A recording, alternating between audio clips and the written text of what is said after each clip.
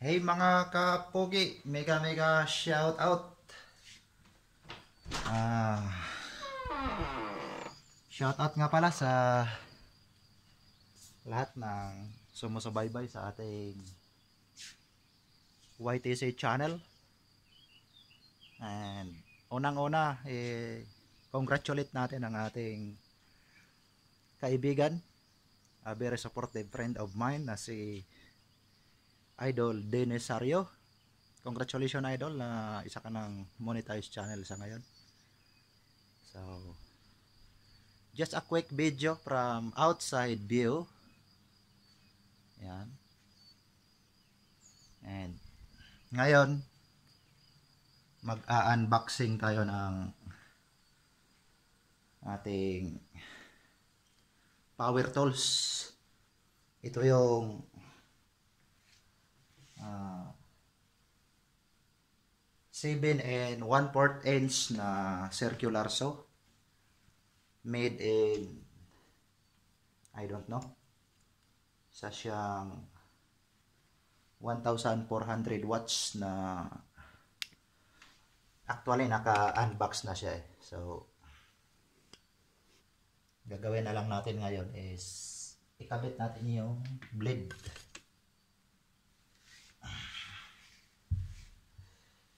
So, ito siya.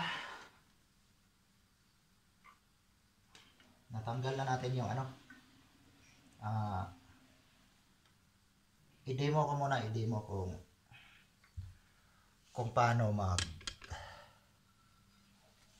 ibalik ko muna ito yung pinakalock ng blade ito yung pinaka bolt yan so ano siya, naka, may ano na siya, set na siya. So, ito yung kanyang uh, panghigpit and panluwag. So, kung mapapansin nyo, pag ganyan, iikot lang siya. Yeah, iikot. So, meron ditong uh, saan ba yan? Para ito, ito. Papakita ko sa inyo. So, pag ganyan, hindi siya lalapat. So, kailangan yung yung guard. Ganon natin. So, kung mapapansin nyo, ito, ito. Itong kulay itim na to. Ayan o. Oh. Ayan. So,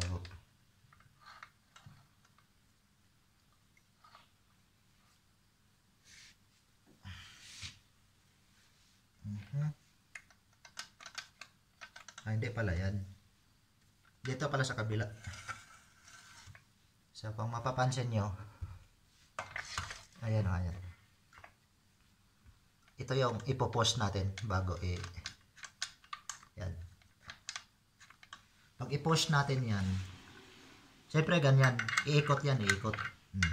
Iikot lang yan, hindi yan matatanggal. Yan, iikot yan. So,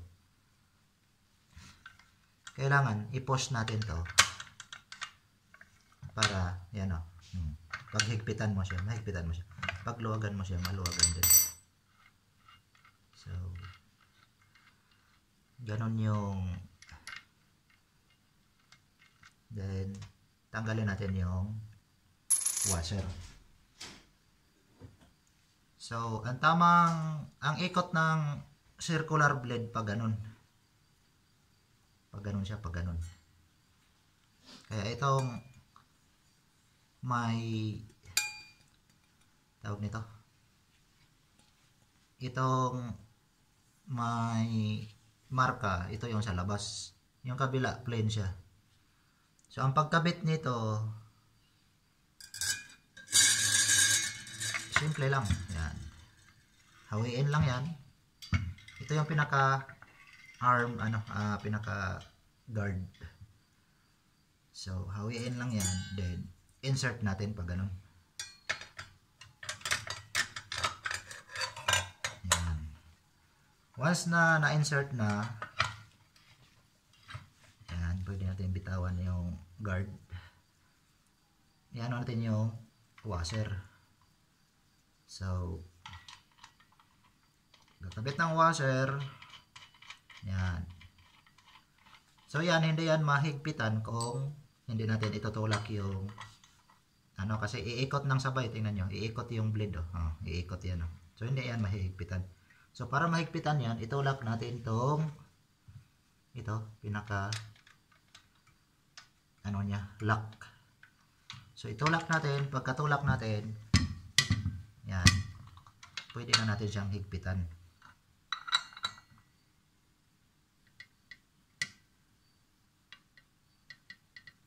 Yan.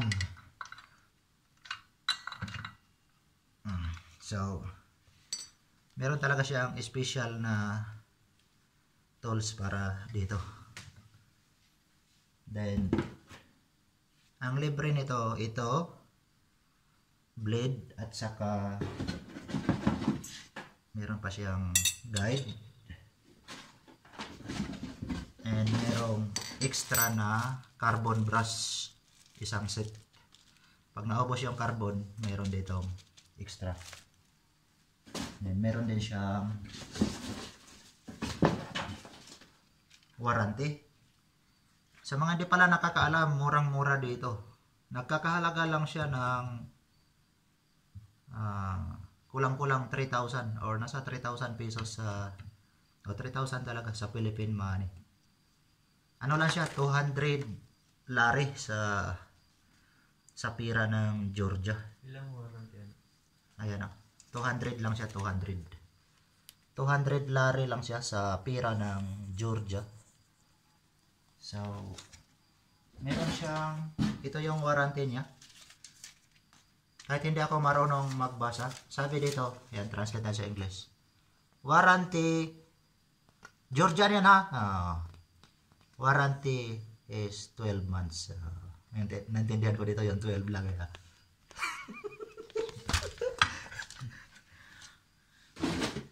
ito pala pag gusto nyo ng may specific kayo na sukat na gusto nakaganon yan. Then dito yan eh pasok. No. Dito. Salpak yan dito yan yan yung pinaka guide kung gusto nyo ng kahoy na ano ito useful lang to kung meron kang ikakat na mahaba ito yung pinaka guide niya Okay? Or dito yata to eh. Parang dito to. Ah, pwede din kabilaan. Kahit saan to pwede. Ayan, Pwede yan. Kasi nakalagay dito. Yan. From 0, gusto mo mag-cut ng ah, 10 cm, 10 cm.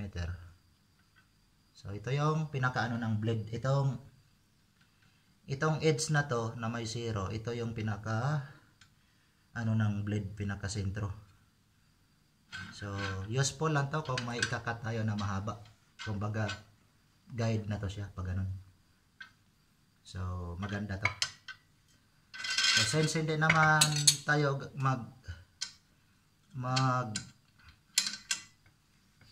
hihiwa ng mahaba hindi na muna natin to gagamitin itabi na lang muna natin. Now, what do you think of me? Thinking of you? Yan. So, hayaan na muna natin yan. I highly recommend na circular saw ang bibilhin nyo. Kasi ito, yan kiring-kiri. Ganyan ang paghawak niyan. Then, pwede nyo itong palitan ng diamond blade para pwede kayong mag-cut ng concrete, mag-cut ng tiles. And, ang pinaka-advantage nito, ito, kasi kung magka-cut ka ng mga uh, angle, yan, meron ditong angle, 0 to, lapit natin, 0 to 45 degrees. So, kung magka-cut tayo ng 45 degrees, ganun lang yan. Diyan, higpitan. Automatic yung pagkakat ng ano 45 degrees na yan. Kita nyo naman yung angle ng blade oh. naka 45 degrees na yan. Yan. So kita nyo? Hmm. Kung ilang degree ang gusto nyong i ano i-adjust nyo lang to. So ganyan. 30 yan. dalawa pala yung ano niya. Kaya yan. So nasa iyo na yan kung anong degree ang gusto niyo. So dalawa ang lock niya. Maganda to dalawa ang lock hindi talaga gagalaw. Meron dito isa pahigpit. Yan so And dito sa Georgia yung ano nila dito. Ganito, bilog. So yan. Ready na. Made in China pa rin to pero May spring dito. asa? May, spring dito sa table. Mhm. Okay. Alright. So hanggang dyan na muna. Siya siya made in China. Hmm. Try tatak mo. Total. Total. So hanggang dyan na muna mga kapugi. Parang sa ano. mm, gasoline station. Total. Yan yung kanyang box. So, 1, uh, 1,400 watts siya. Uh, maganda to. So, yan. Yan yung gagamit niya, no? Simple lang yan, no? Pero, rock. So, hanggang dyan na muna, mga kapugi. Abangan nyo ang aming susunod na mga vlog. Bye-bye. Sa mga hindi pa pala naka-subscribe sa aking channel, ito talaga yung resulta ng walang salamin na gamit. Hindi maganda yung pagkatabas ng buhok natin. May natira dito. Okay na yan. So, don't forget to tap the bell button. So, magiging updated kayo sa ating mga susunod na mga ah, vlog. So, hanggang dyan na muna. Maraming maraming salamat and bye-bye.